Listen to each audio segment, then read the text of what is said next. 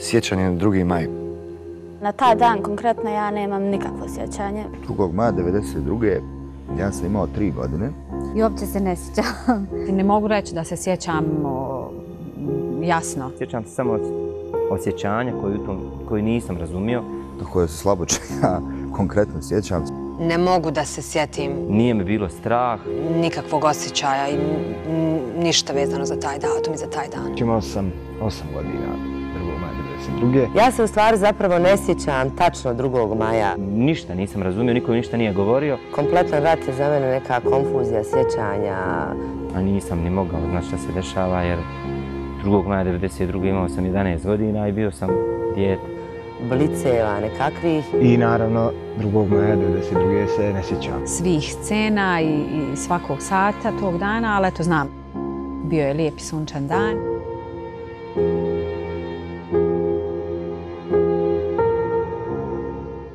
Bio je to jedan gorak, mučan dan, a sunce je eksplodiralo izgleda u Sarajevu.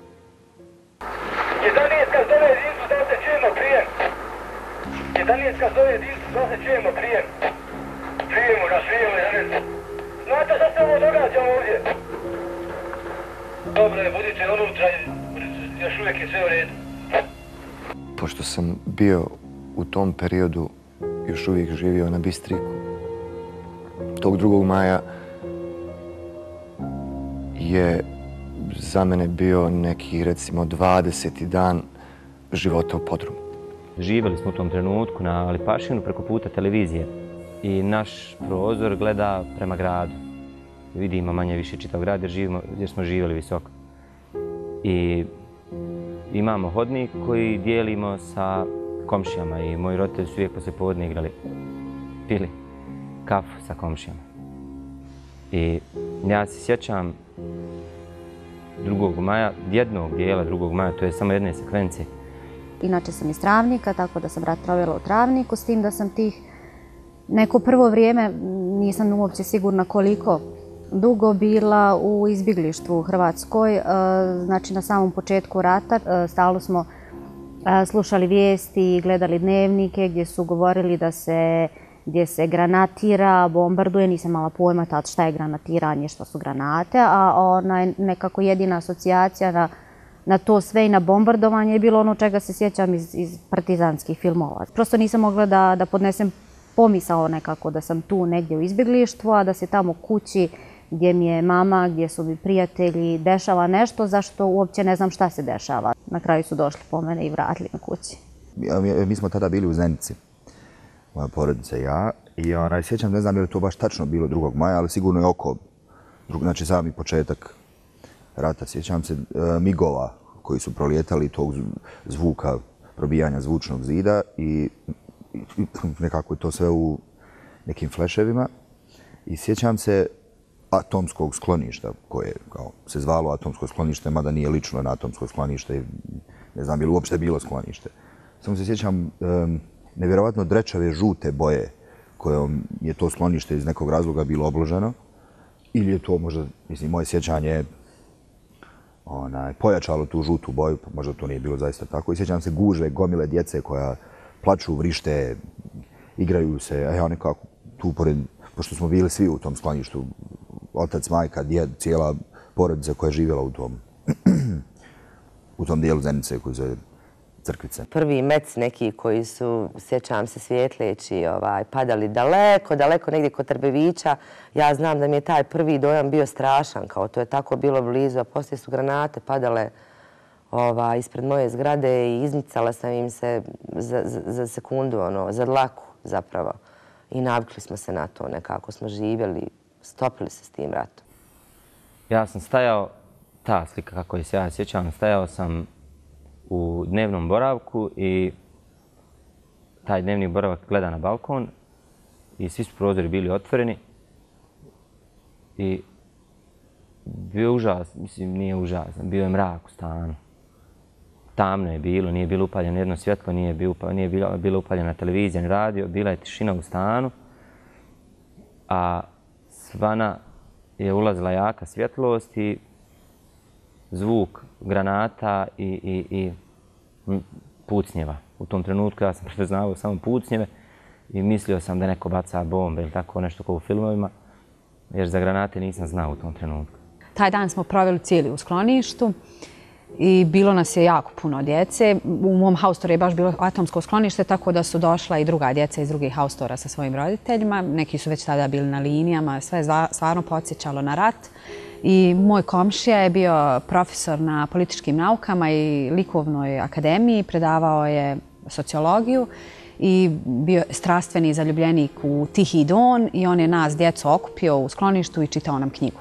Bio je lijep dan i mislim da sam baš taj dan zaradio prvi ožiljak, prvi i zadnji ožiljak u, u ratu. E, mijenjao sam prozore koji su već stajali tako dvije, dvije tri sedmice e, razbijeni. I od okna prozora zabio mi se e, komad stakla u, u ruku i da, danas imam taj ožiljak u obliku Y e, ovdje na ruci.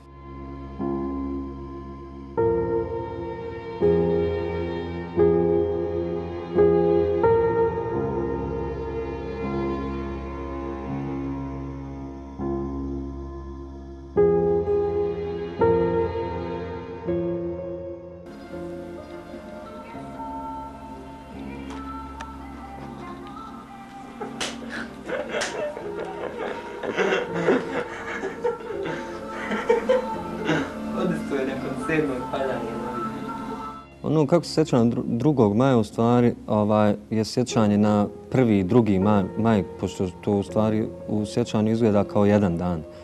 A, počeo je sa prvi majem i proslavom praznika rada kada se komšiluk okupio. Ima gore neko prozor, on je po Ono što je zanimljivo bilo, što je bilo malo drugačije od običnih proslava 2. maja, što smo povremeno se penjali na treći sprat e, doma Mjedenca, škole Mjedenca, sa kojeg smo s komšijom Tončijem ovaj, snimali e, komandu druge armijske oblasti, odnosno kasarnu koja je bila smještena na koji su palili neke papire tamo i vidio se taj dim i Tonči ovaj, kao aktivni policajac govorio snimi ovo, snimi ovo, ovo je nešto važno. Kod njih dimi tamo, vidiš li? Hajde, približe što više vam. Pa samo, nemoj na ovo, molim te, na ovo, na ovo, na ovo. Tako, vidiš li? Vidiš da se dimi kod njih, vidiš da pale Ta zabava u ulici završila je naravno ovaj, u noćnim satima. U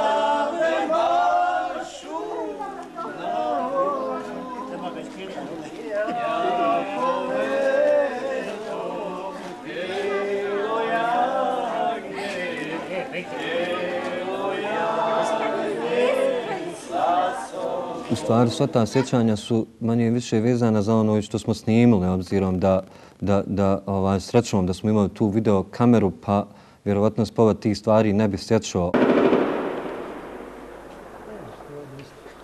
Hodi se sada ovdje dole.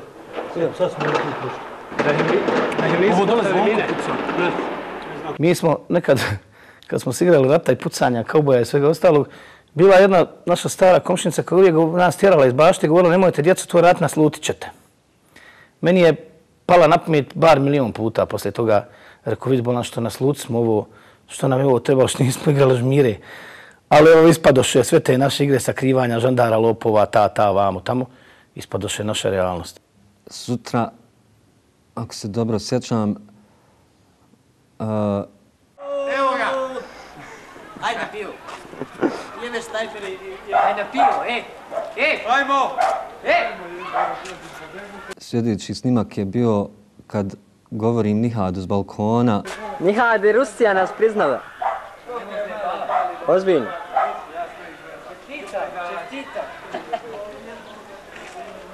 Onda smo otišli kod komšije sjedili, počelo je granatiranje, prešli smo u dom i onda je to taj drugi maj, ako se dobro sjećam. Idem!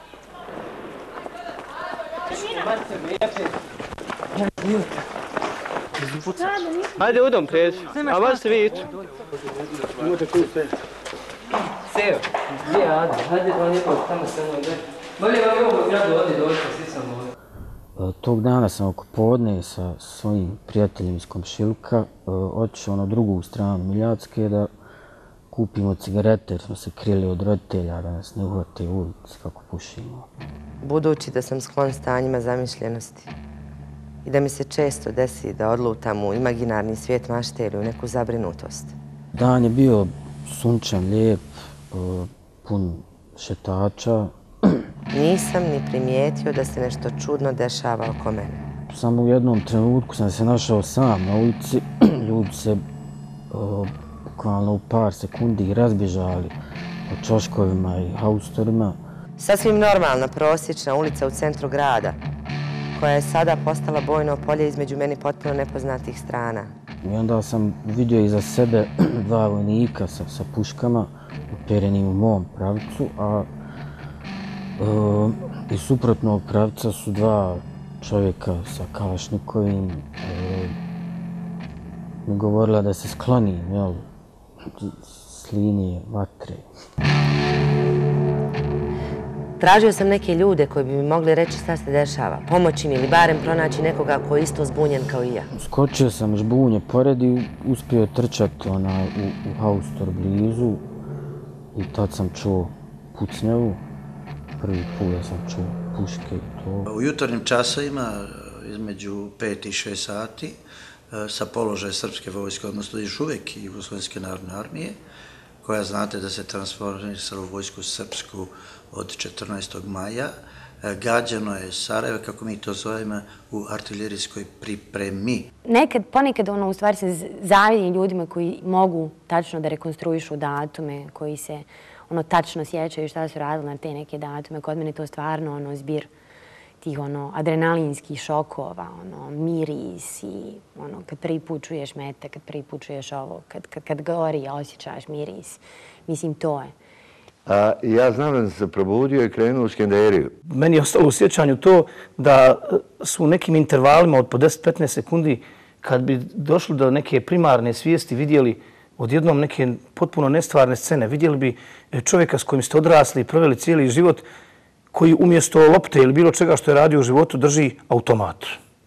Nestvarno. S početkom agresije smo se i muž i ja prijavili u općinu Stari grad u namjeri da nekako doprinesemo odbrani kako eh, možemo u skladu sa, sa svojom strukom i sa svojim znanjem.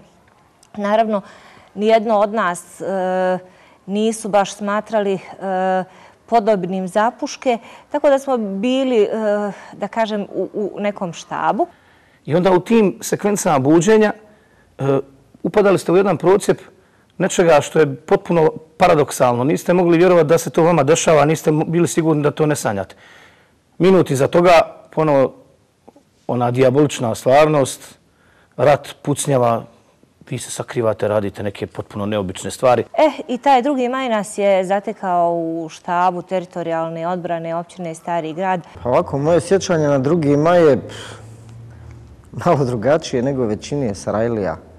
Pošto sam ja drugog maja još uvijek bio na Grbavci jer sam tamo živio. Tako da nemam tu vrstu iskustva koju su imali ljudi ovdje. Ovaj, ali se sjećam, dakle, ono, da nas je probudila pucnjava zapravo. Taj drugi maj zapravo počinje u podrumu. Moj susjetelj bio uh, Nedžad Ibrišimović, dakle, dragi, dobri, mogu danas slobodno reći, ters komšija, koji u momentu kad je počelo strašno granatiranje, bombardiranje, kad je počeo potpuni pakao, rekao da svi silazimo u podrum. Onako prvo nešto sporadično, a onda kad se začuli tenkovi i, i ono, vojska, otac je ono, pomislio da bi najbolje bilo da se iđemo u podrum. Isti dan eh, uh, Mati je sa mojim nečacima, sa mojim sestričima Bakirom i Lamijom i sa mojim zetom Adnanom ostala kući, a moj rahmetli otac i moja starija sestra su uh, krenuli u Ceneks, u Ceneks, jer uh, čuli su da tamo negdje u Ceneksu uh, ima neki džem kante, džema od 5 kila eh, i to eh, džem u kojem su čitave jagode. I Mat je naredila da se taj džem kupi eto, kao da ima za djecu, jer ko zna koliko će trajat. Možda nećemo stići do jula završiti rat pa da idemo na more. Izašao sam na Tito ulicu da vidim šta se dešava i vidio sam uh, ljude u, u gomilicama kako, kako čuče po, po čoškovima, po jel, haustorima. Kao da će svojim strahom i željom otjerati metke koje su mnogi od njih po prvi put u životu čuli. Putni su se čuli. vidio sam čovjeka kako pada, vjerovatno pogođen nekim metkom. Prišao sam toj sagnutoj koloni, saginjući se samo straha. Pokušavao sam se ugurati među njih, da se ostavim koliko, toliko sigurnim. Nisam imao vremena da, da, da se plašim, mislim, sam, sam instinktivno djelovao da, e, da se pokušavam sakrit kao svi ti drugi ljudi. Drugi maj bi ostao dan sjećanja na dan kada me mama natjerala da idem u podrum protiv moje volje i neoprane kose što mi je bilo sprem mrtve glave kao tinejdžerki i nije mi dala da obučem nove čizme koje sam kupila prije nego što je počeo rat, nego sam morala u podrum da siđem u nekim starim. I generalno cijeli taj drugi maj dok je vani oko nas pljuštalo i dešavalo se valjda najgore najgori početak koji je mogao da se desi e, za Bosnu i Hercegovinu. Mi smo vodile naš interni rat, moja mama i ja, ona koja me ubjeđivala da sve što radi, radi za moju bezbjednost i ja koja sam kao tinejdžerka, kažem, bila apsolutno protiv nje. Ako neko vremena sam sakrio u jedan haustor je bilo još 15 ljudi koji se koji su izgledali jako uplašeno, a meni baš nije bilo jasno, mislim, nije, nije da se nisam plašio, ali nisam bio svjestan opasnost i u kakvoj situaciji nalazim. I tad su počele prve granate padat. Bile su to prve granate koje sam čuo u životu i bile su prestrašne. Ni nalik onim u filmovima. U filmovima eksplozije imaju neki merački zvuk koji smo kao djeca imitirali bacajući se po jastucima kao Rambo ili Schwarzenegger u komandu. Ove eksplozije su bile drugačije. Stravične, evo. Parale suši metalnim zvukom. Prvo kratki zvižduk. A onda metalna eksplozija koja nakrato zatrese beton ispod nogu. I onda je na redu brza, kratka kišica gelera i kamenja. I svaki put na nekom drugom mjestu. Nekad bliže, nekad dalje. Ali svaki put eksplozija da do znanja da ne možeš pobjeći dalje, već da samo možeš čekati i moliti se da ne bude preblizu. U mom haustoru je bilo jako puno penzionera, tako da smo nas dvojica bili praktično ono, jel, ono, ja sam bio, ja mislim, najmlađi u ulazu, I u tom trenutku, izuzev nas dvojice, u, u haustoru nije bilo uopšte muškaraca. Tako da smo mi imali onako prilično jedan težak zadatak da sve komšije koji su bili ono, penzioneri, stariji ljudi, ono, neki jedva pokrijetni, da spustimo u podrum i da siđemo i da pokušamo koliko toliko nekako, jel da taj ono, dole borava kućni što to je moguće sigurnijim za njih. I bilo je stvarno smiješno. Zato što su onaj, dvije komšinice, stari gospođe, odjednom izvadile lita rakije iz nekog cekera i valjda da razbiju tremu. Svi su počeli da piju tu rakiju i napile se. I onda smo ostali nas dvojica koji smo sad imali i taj dodatni problem. Šta ćemo sa pripitim komšijama?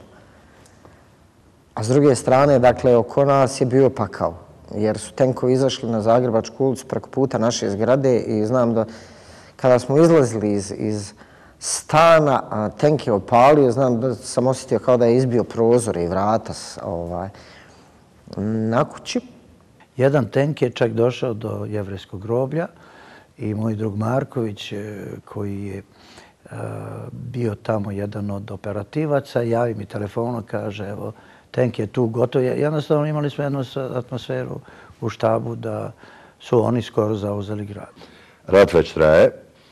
A, I bio sam u Skenderiji ranom zorom, jel, smo oko deset, i tada je počeo onaj vatromet, jel, ili paljavina ili bengalska vatra jel, na mostu na Skenderiji, kada su počeli da gore uh, Prince uh, e, JNA a, i kada je cijeli svijet e, nekako se sručio na Skenderiju i na Sarajevo.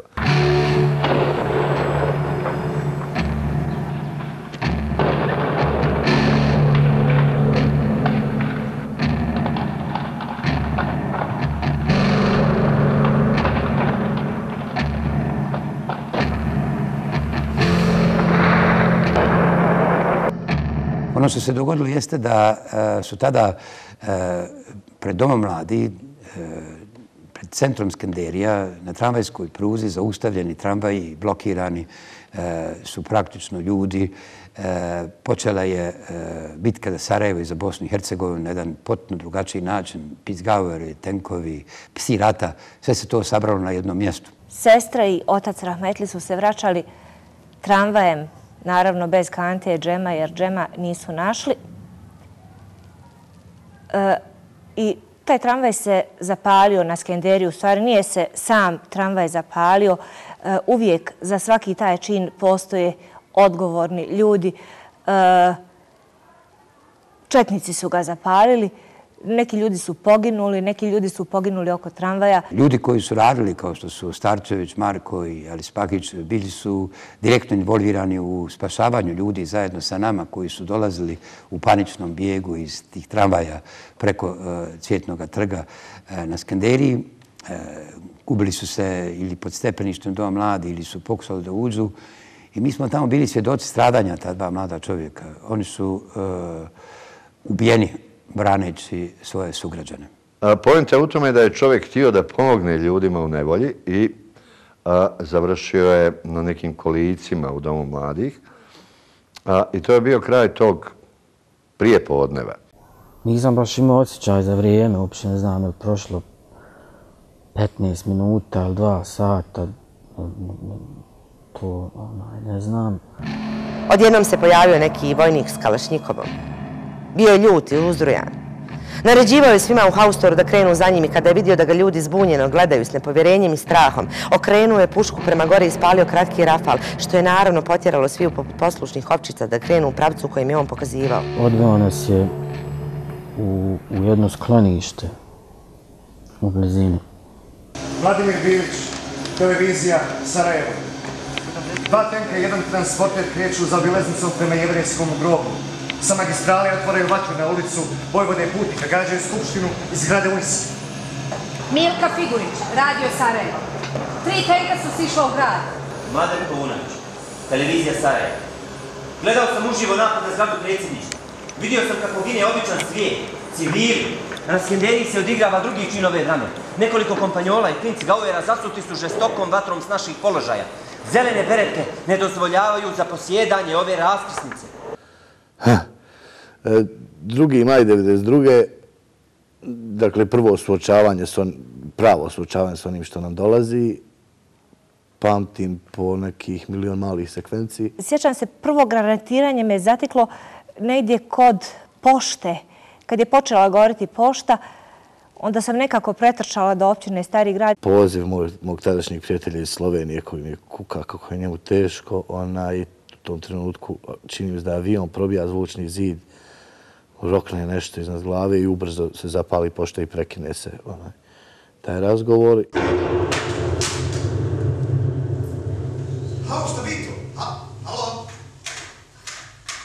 Gađane se vasomiski crni, padale su granate oko presjedništva, Jađena je elektroprivreda, prenos, e, toga jutra izvršena i diverzija na e, poštu, negdje oko 40.000 priključaka u ovom delu grada, starom delu grada je prekinuto. Na taj općinski telefon zove me prvo Senat Pečanin i pita e, jesu li prestali kod vas raditi telefoni, odnosno u općini, ja kažem nisu, kaže gori pošta izgleda da telefoni okolo ne rade ukratko mu ispričam šta se događa, kako naj se vode tu negdje borbe oko općine, oko doma armije. Ono što mene nekako veže za te prve dane rata i, i, što u stvari imamo taj neki moment u prijestu za koji sam ja lično najviše emotivno vezana, je to što sam prve, prvih šest mjeseci rata provela u Sloveniji kod svojih rođaka u izbjeglištvu.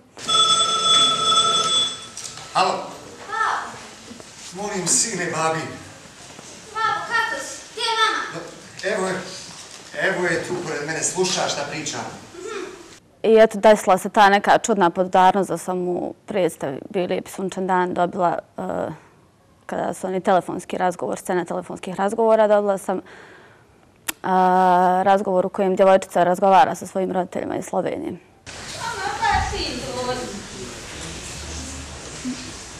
Ne može mama si. Volim te, mama. I eto, to je nekako bila situacija koja je bila apsolutno identična mojoj nekoj iz tih dana i imam to neko emotivno pamćenje baš na te momente i zato sam scenu posebno vezana. Onda kako znam da će imati skontat da su borbe tu, jer ona sa Mihrivode iz starog grada jel, prati, e, osluškuje gdje se puca, nazove mater, Kaže, ona je zvala svekrvu, zovem svekrvu, naravno, ovaj, svekrvi na košajskom telefon ne radi, to je već općina centar, kod nas u, staru, u starom gradu e, telefoni rade. Sad se moja mati sekira kako e, će se moja svekrva sekirati jer joj se ne možemo javiti. Sad ne mogu ja po tom pucanju ići svekrvi da kažem da sam živa, ako, ako pokušavam otići, neću biti živa bez beli. Eto me! Izvini, žuri, imamo hitan sastanak štaba, ja bih vas zaboravila.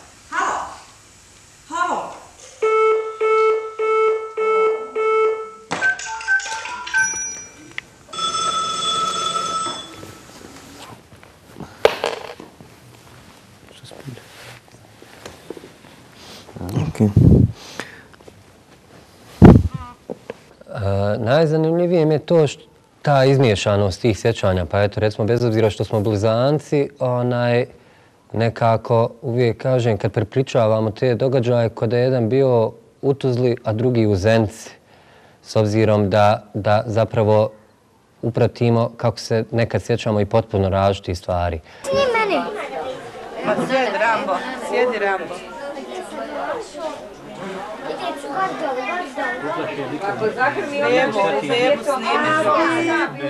Sjedili smo u podrumu doma Mjedenca.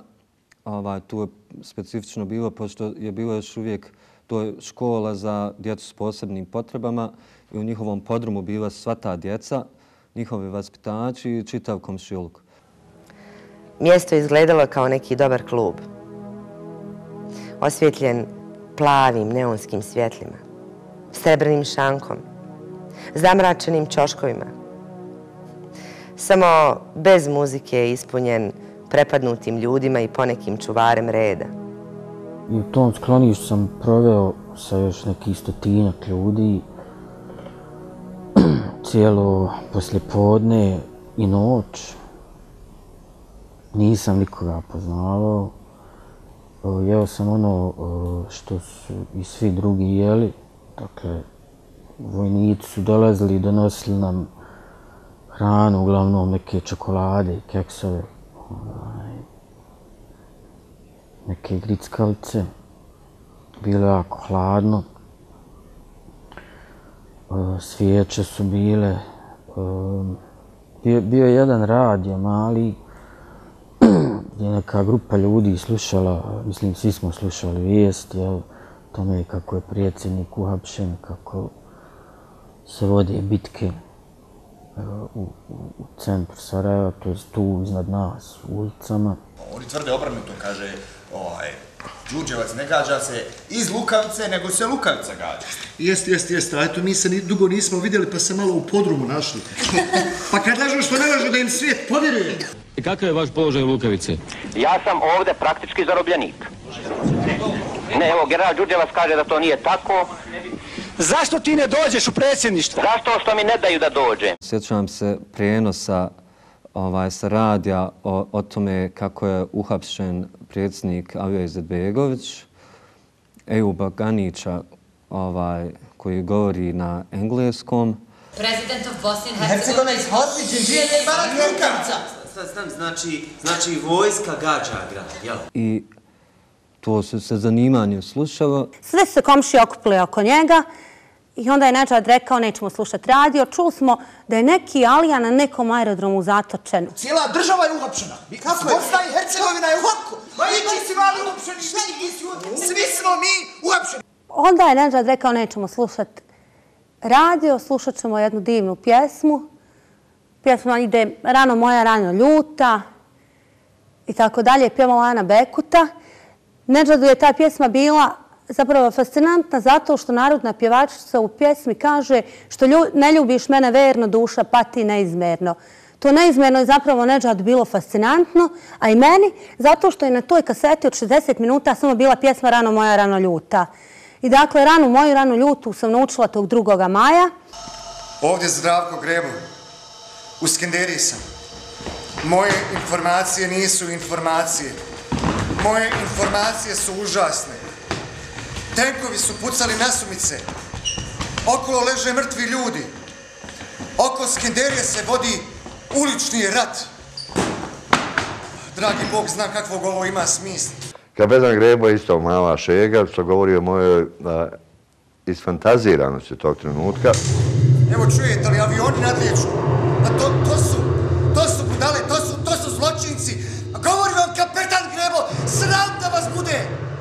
Ja stvarno jesam bio rezervni kapetan JNA, nisam ništa lagao, nisam se lažno predstavljao. Mojom sam se u tom trenutku suprotstavio jel, armiji koje sam pripadao. Ovo je bila avionska bomba. Ovaj grad može biti uništen. Ali oni u njega neće ući. I onda je počelo granatiranje. I sjećam se da, da su granate lupale, ono, prvo, bile su jako glasne, ali prvo išle, išle su malo dalje, pa bliže, pa bliže, pa bliže.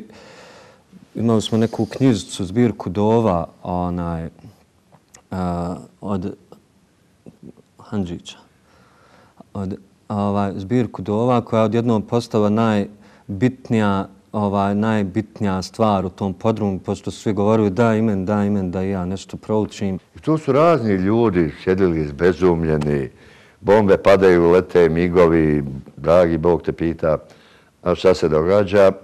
I onda je zveknula jedna granata u zgradu gdje smo bili i sjećam se plamena koji je ono nekako malo vidio se taj plamen, dim i onaj miris Barta mi ostao ovaj, i tad je ekstaza te vriske bila i nakon te granate nekako kao da je sve postalo tiše.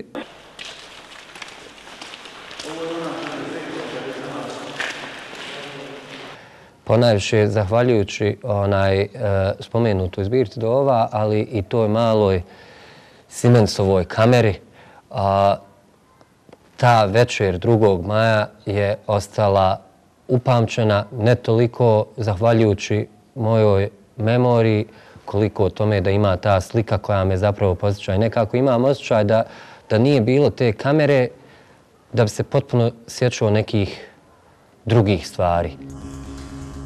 Spavaću. Spavam, spavam, spavam. Joj, da mi se probuditi na kraj rata. Mi smo odmah djeca prva poletila da, vidi, da vidimo šta je, ovaj, šta je ostalo od grada i od zgrade. Sjećam se da je gorilo nekoliko zgrada, čini mi se statistički zavod, uh, još neka, neke, neke zgrade pošta. Uglavnom bilo je nekoliko ovaj, plamenova u gradu, u panorami grada. Nije to ništa, znaš kako se skujnije vidi. Tamo prema, prema onom skenderiji kako gori. A na prostoriji koja je bila do tog podruma gdje smo mi bili, bila je jedna ogromna rupčaga od 155 c. To je bila sala za fizičko, bila je sva pokrivena onim prašnom.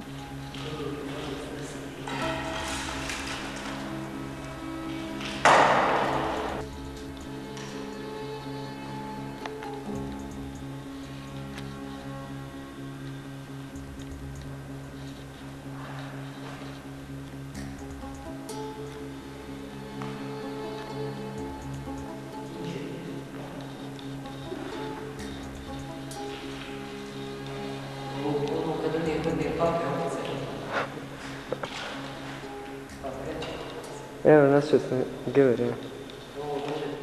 Pripala mi je čast da nađem najveći od tih gevera, jedan ogromni geler koji se zabio u onaj hidrant, ovaj, kutiju od hidranta, gdje je bio onaj neki cijev za gašenje, ovaj, što bi ovi što nisu bili u vatrogasima rekao šlauf, ili tako nekako. Onaj, onda smo čistili... A i ovi što su bili bi rekao šlauf.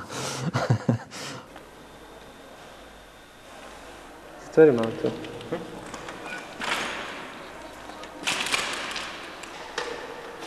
A ono što mi najviše u sjećanju je ta, taj neki ovaj super osjećaj da je to prošlo, to, to, taj zvuk granata koji se približavao, da je to nekako već postalo ono prošlo vrijeme.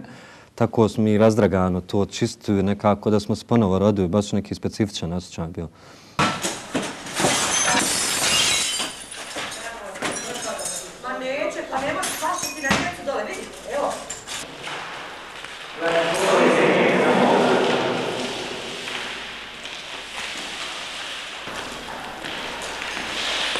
Živjeli smo na Dobrinji i ja sam tad živio sa sestrom, djedom, mamom, tatom.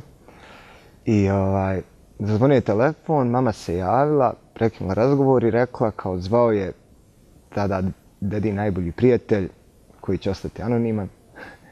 I, ovaj, I kao rekao je ulaze na Dobrinju, pakujte djecu i za pola sata kreće konvoj iz Dobrinje. I sad mi priča tata da je on, ne znajući zašto, valjda se prepao, uzeo sestru iz, koja je tad imala tri godine, ispod ruke, strčao u podrum i kao kad je strčao u podrum, shvatio da ne zna što je u podrumu i vratio se kući. I onda su on tako pakovali te stvari da mi kao bježimo i onda je deda iz nekog razloga rekao ajde ja nazovem tog svog druga, eto čisto da provjerim, da vidim šta je to. Gdje se javila na telefon njegova žena i rekla I on je naravno njega tražio da s njim popriča. Ona je rekla, nemoj molim te njega sad, on sad spava, jutro se s linije došao rano. I kao govori deda, pa zar nije on sad zvao? Kaže, nije. I onda smo mi kao ostali kući i to sve na kraju se ispostavilo da je to neki, tada se to zvali petokolonaši, ovaj, iz imenika, tako, išao po brojevima telefona sa Dobrinje, zvao ljude da izlaze iz kuće, da bježe, valjda da se Dobrinja, jel, raseli. Ja sjećam neposredno prije agresije, kad je krenuo taj rat u Sloveniji, jednog momka koji je rekao otprilike neku definiciju koja je opšte poznata i koja je po meni izvaredna. Ovi kao hoće da se ocijepljuju, a mi kao ne dam. E to kao, kao to je, kao se kasnije više puta ovaj, pojavljivalo kod nas u našoj stvarnosti mi smo isto tako bili, kao, kao bili neka jedinica, kao trebali da nešto obavimo i kao i obavljali. Ali u biti sve to je izgledalo prilično grotesno, sad kad gledate s ovog stanovišta. I eto, mi smo imali tu neku Delta Forces jedinicu. Nas nekoliko koji smo bili vrlo ozbiljni u svemu tome i vrlo ozbiljno smo se pokušavali adaptirati, pa smo radili sve te stvari za koje smo mislili da inače vojska radi pogotovo posebna vojska kako smo i bili. I onda smo u, u, u, u osvit to, te agresije e, imali prvi, prvu zadaću, prvi problem je da, da e, nađemo i utiramo petu kolonu, jer je to tada bilo jako aktuelno. Ljudi su slali signale sa svih strana, ali su je slali ubjedljivo manje nego što je to izgledalo, nek što se u to kod nas mislilo. Kod nas je paljenje cigare bio signal nekome i to je posle izgledalo tako nevjerovatno da jednostavno nikom nije palo na da niko ne može poslati ni prim toliko signala, možda eventualno kineska armija, ali sumnjam da bi oni mogli. Mi smo svaki pet minuta imali dojavu da neko negdje nešto daje na signale. Međutim, jedna je izgledala malo zbiljnije, pa smo mi krenuli tragom te dojave i izviđali malo, videli stvarno neko tamo nešto blinka, neko svjetlo se pojavljuje, nešto Ma ne može, u nekim nepravilnim intervalima skontali smo da to neka šifra. Sad ćemo ti mi, majstore, doći glave, siguran budi. I krenu smo.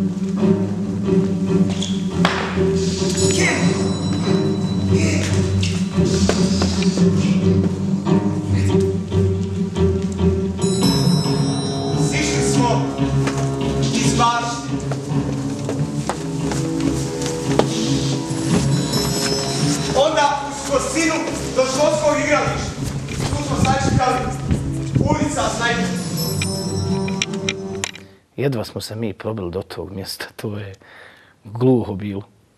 I nekako smo ušli, sve to trebalo da izgleda jako tiho, tajnovito ovamo. Bilo je potpuno obratno, to je bilo vjerojatno glasno da s nas svi čuli u onoj Božje činjenom mraku. Ali eto, Brzo smo pretričali ulicu. Onda pužim pored zidova, majko moja, Bogu dušu, Bog je neće. Puni adrenalina, straha i nekog, nekog vještačkog samopouzdanja.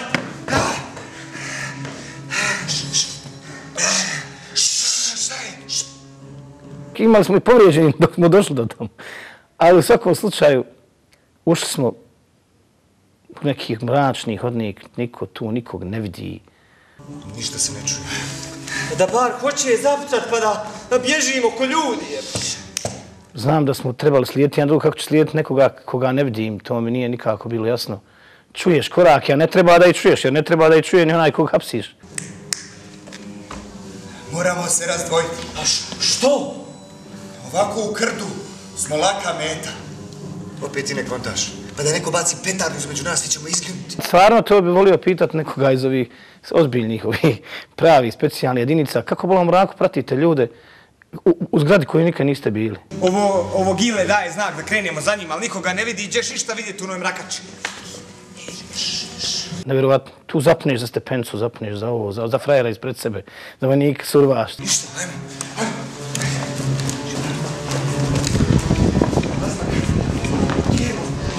Razmak?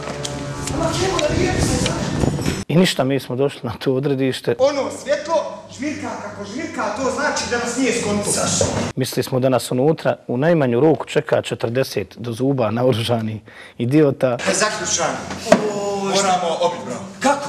Po nogu. Ma upašćemo pa šta Bog da. I mi smo upali. Nigdje ništa, prazno. Samo neonka u akvarijumu pokvarena. Trepti daje ono neke znake života u nekim idiotskim intervalima. Oni ribice gledaju u nas. Kontaju šta je ovima, mi smo upali na glavu. Šta je ovo praz prazna? Nema ništa. Nikakvog špijuna. Nikakvog ubačenog elementa. A šta, mene gledaš, nije do mene. Pa nije. Sreća naša, inače ne bi ni valjalo. Daj.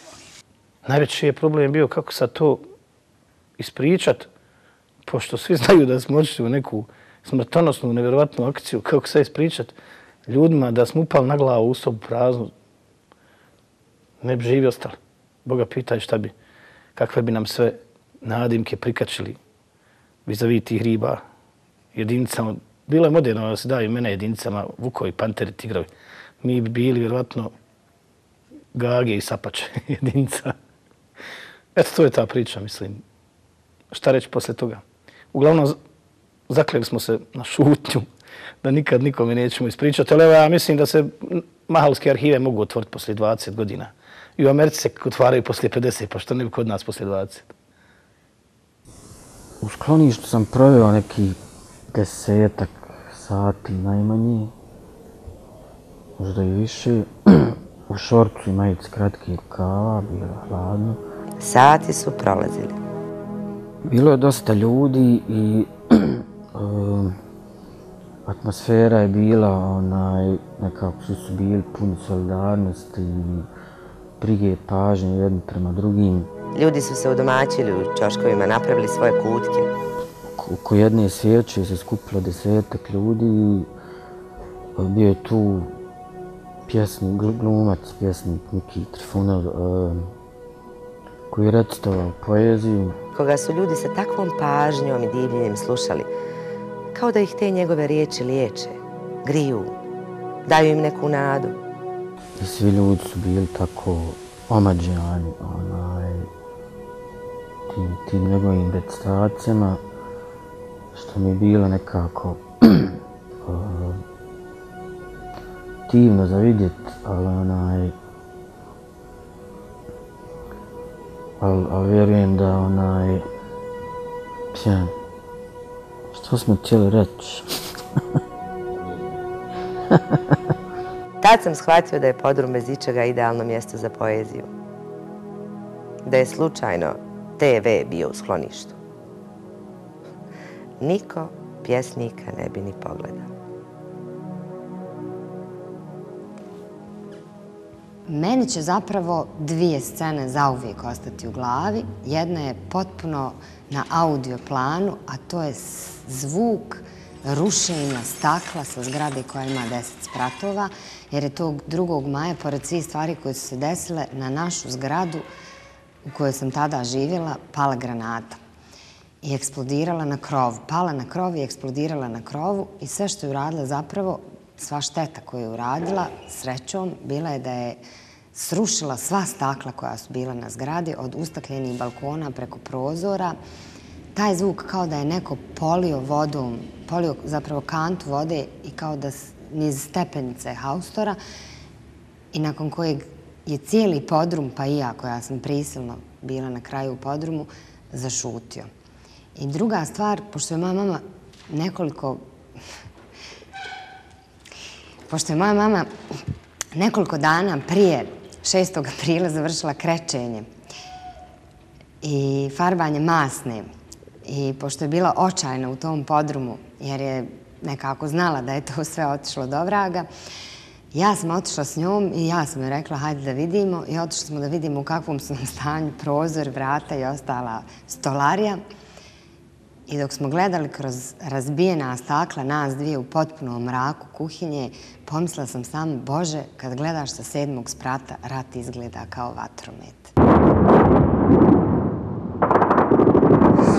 Beograd da nije pušta poruku kući i sali dobra na zgrade odakle su radiko nema ništa. Nemamo ni pračke ni petarde. Klasična Jadranka, ostala samo polupa na stavlju. Hotel Beograd da su čak i nahrani. Rat sa sedmog sprata izgleda kao vatromet. Već drugi put piše u skloništu. Čikagijevo sjedio u svojoj kamperskoj stolici. Tog dana sam pravila uštruke. Od brašna ulja vode sa malo soli. Taj dan sam bila zaljubljena. Prijavio sam se u jedinicu na košaku da bude blizu selu. Na Nišanu.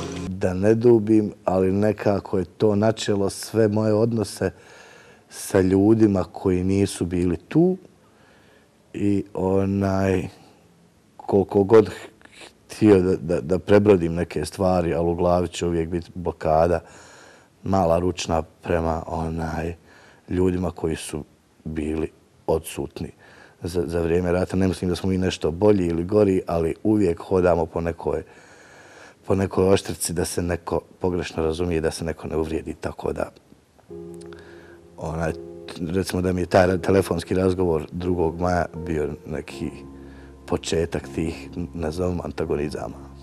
Sjećanje na 2. maj 1992. godine u stvari stvarno kod mene ovaj, u principu i ne postoji o, zato što sam se ja stvarno godinama nakon te 92. pokušavala sjediti i rekonstruisati šta se dešavalo čitavog tog dana. Kako smo svi bili generalno isprepadani, znam da nije bilo puno ni nekih viceva, pa će tek negdje pod kraj maja ili, ili, tu negdje pojaviti se prvi vic u opsjednutom Sarajevu o muji sulji kako pretrčavaju raskricu, već je počela nestašica cigara i onaj snajper opali, otkine uho ono muji i on se vrati da traži i kaže Suljo, ona, hajde, pusti uho, de, pogodit ćete snajper.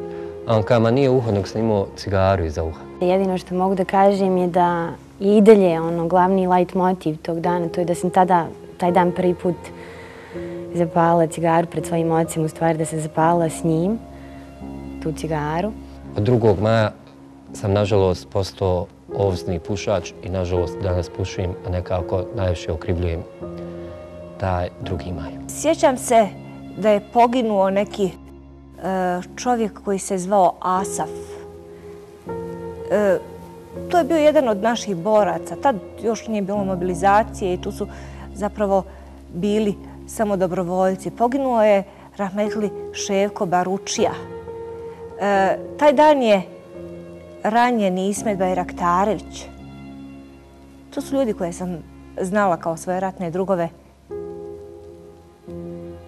Poslije toga nisam pamtila ni kad je ko ginuo, ni kad je ko umirao, pogotovo kad je ko ranjavan. Poslije tog drugog maja dani su se jednostavno slijepili. Nisam se mogao javiti nikom od svojih.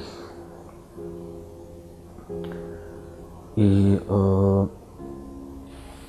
jel, nakon tih sati i sati, mislim, uopće nisam imao osjećaj vremena. Znam da sam u jednom trenutku zaspao i probudio sam se, sklonište bilo poluprazno. Tada smo otprilike začuli negdje i vojsku koja se vraćala vjerojatno iz pravca Vrbanje i mosta. I znam da mi je to recimo bio ono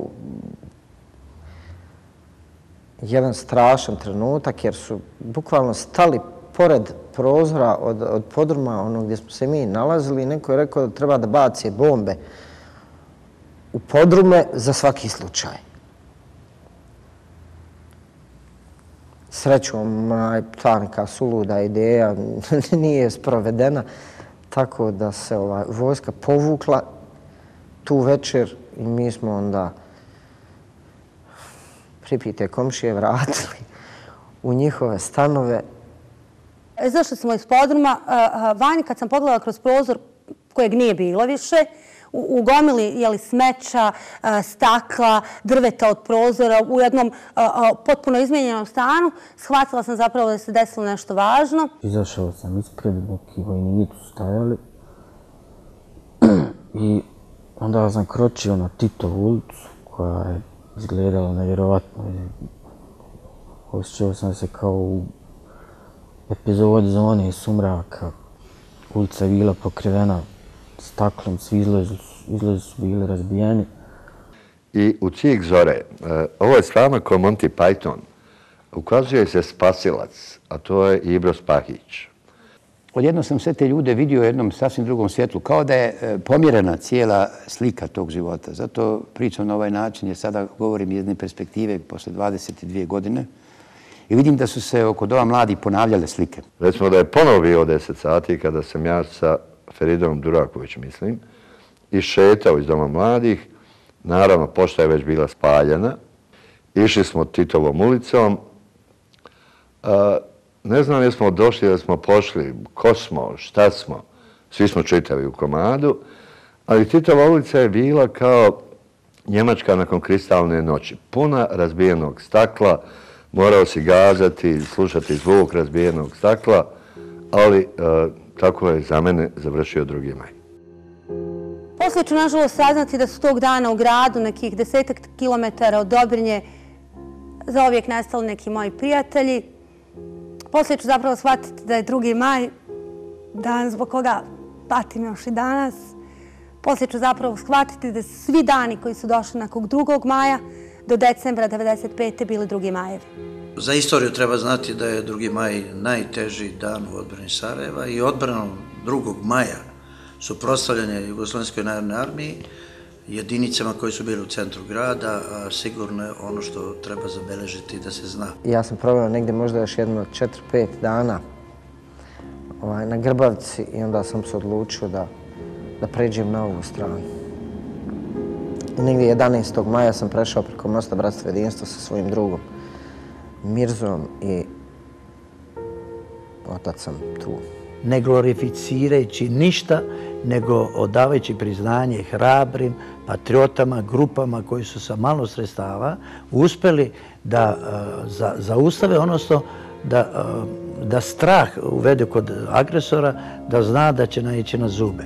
Ja sebe uvijek pravdam na proljeće, ovaj, da na proljeće u stvari e, mene fata ne ono, ne ona romantična slika proljeća, ono nekako s proljeća, ovaj, nego da s proljeća ja stvarno jesam ono teža za podnijeti, u stvari jesam potpuno drugačija, zato što meni proljeće, ono, te 92. od tog 2. maja 92. apsolutno ne znači proljeće.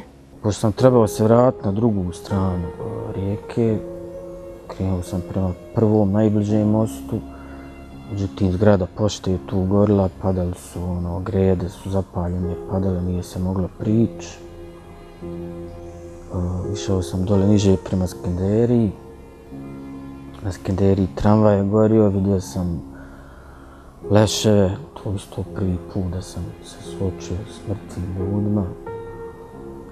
Međutim, ja, ja nekako u svem tome nisam bio svjestan niti opasnosti, niti svega toga što se dešava. Ja sam, ja sam mrtav hladan krenuo da pređem taj most gdje je tramvaj korio. Jedan policajac me zaustavio. Ulao je meni iza leđa, kao si lud, gdje ćeš, vraća se, puca snajper. I onda me vratio u, u, u zgradu predsjedništva gdje sam jel, čekao još nekoliko sati. Tog momenta e, čovjek nije u strahu i sve što sam radio u ratu, e, slobodno se kretao među građanima, čak pretrčavao one zone gdje su pravce, gdje su snajperi, tada nisam imao straha. Danas, posle 20 godina, se pitam, pa dobro što sam to radio. Radio sam jednostavno radi podrške, moralne podrške građanima, da se vidi da se možemo rugati onome koji se brda gađao i dete, gađao starca.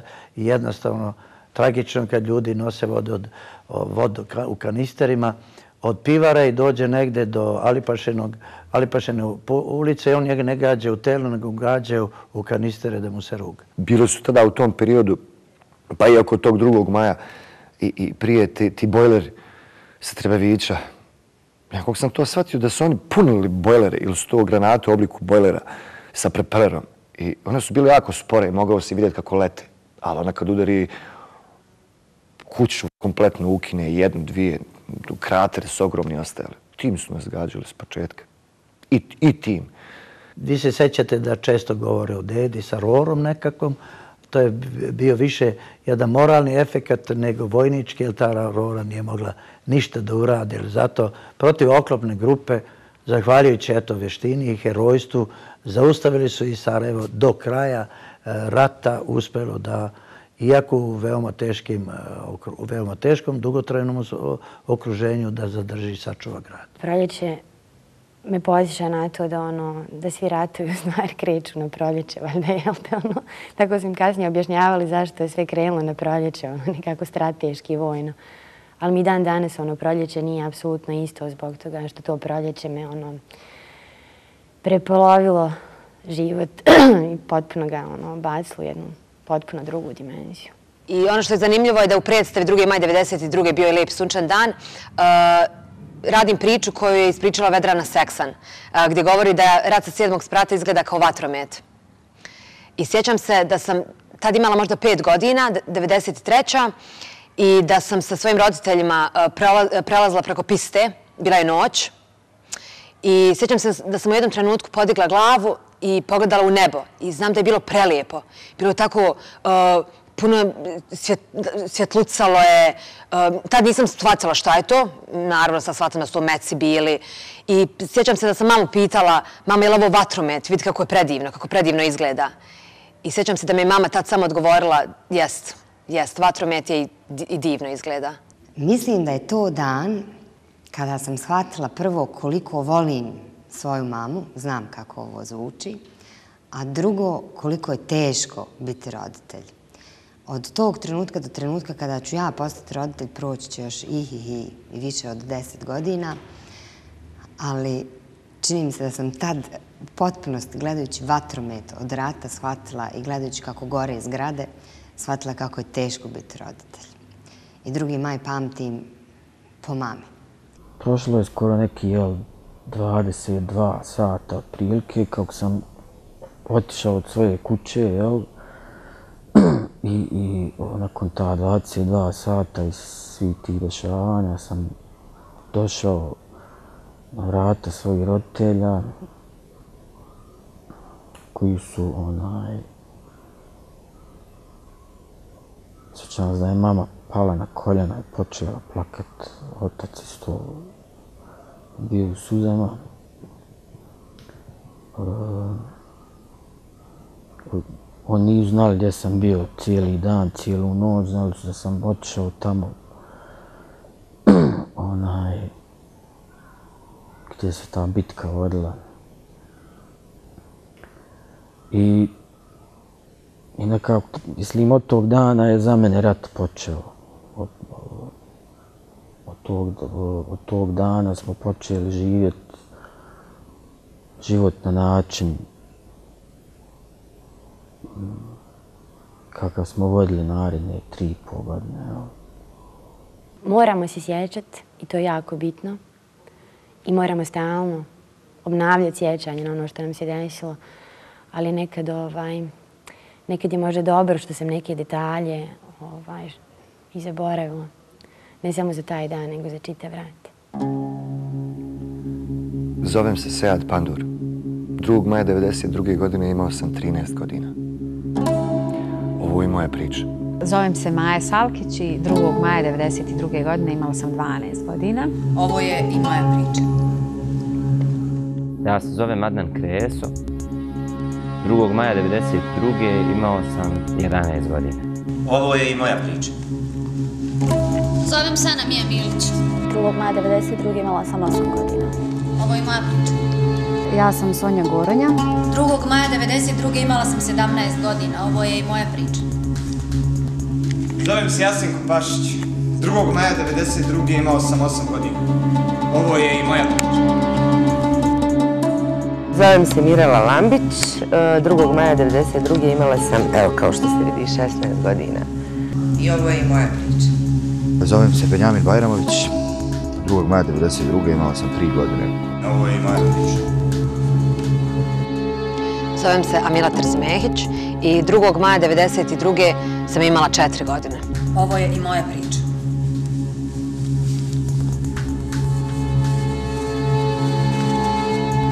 To je bio 2. maj.